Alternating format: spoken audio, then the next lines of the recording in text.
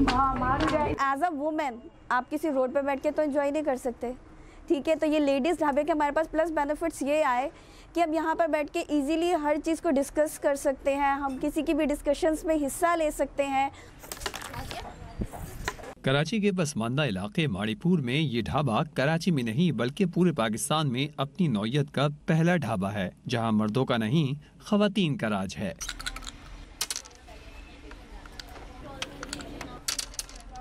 ان خواتین کو جب گھر کی ذمہ داریوں سے چند لمحوں کے لیے فرصت ملتی ہے، تو وہ اس ڈھابے پر کھینچی چلی آتی ہیں۔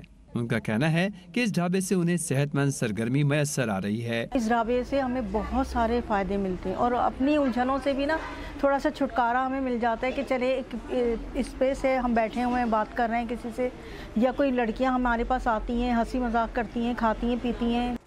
پرسکون ماحول میں گپ شپ ہوتی ہے خیالات کا تبادلہ ہوتا ہے۔ یہ کہتی ہیں یہاں آ کر بہت کچھ سیکھنے سمجھنے اور خاص کر خواتین کے مسائل جاننے کا موقع مل رہا ہے۔ بارے میں ہم اپنی سٹوریز شیئر کر سکتے ہیں کہ ہماری کمیونٹی میں یہ عورت اتنا کام کر اتنا کام کر ریپرزینٹ کر سکتے ہیں۔ تو یہ سب چیزیں نوٹ ڈاؤن ہوں گی۔ یہ ہمارا ہوگا تھری منتھس کا ایجنڈا یہاں پہ ڈفرینٹ خواتین سے ملاقات ہو جاتی ہے، ان کے مسائل بھی سننے کو ملتے ہیں اور اپنی بھی بہت ساری باتیں ہم لوگ ایک دوسرے سے شیئر کرتے ہیں۔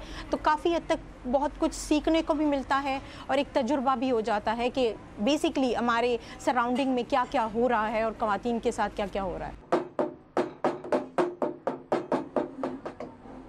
ڈھابا ہو اور کھانا نہ ہو۔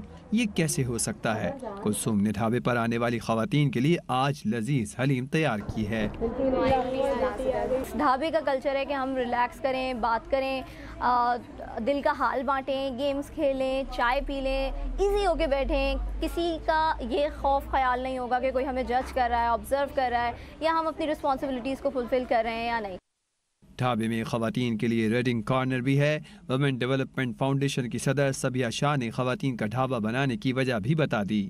میں نے سوچا کہ کوئی ایسی جگہ ضرور ہونی چاہیے جس میں تھوڑا سا وہ بیٹھے اور اپنے آپ کو بڑا فری اور اچھا محسوس کریں کوئی فیس نہیں۔ یہ تو جسٹ لائک جیسے آپ کسی کیفے میں چلے جاتے ہیں۔ تو آپ آئیں، بیٹھیں۔ ہمارے پاس کتابیں بھی ہیں پڑھنے کے لیے۔ ریڈنگ روم بھی ہے۔ فیسلٹی ہے، نیٹ کی بھی فیسلٹی ہے۔ خواتین کی خواہش ہے کہ اگر اس طرح کے ڈھابے دوسرے پسماندہ علاقوں میں بھی بنا دیے جائیں، تو انہیں خواتین میں ان کے حقوق کا شعور بیدار کرنے کے کام میں لایا جا سکتا ہے اور ان کا اعتماد بھی بڑھایا جا سکتا ہے۔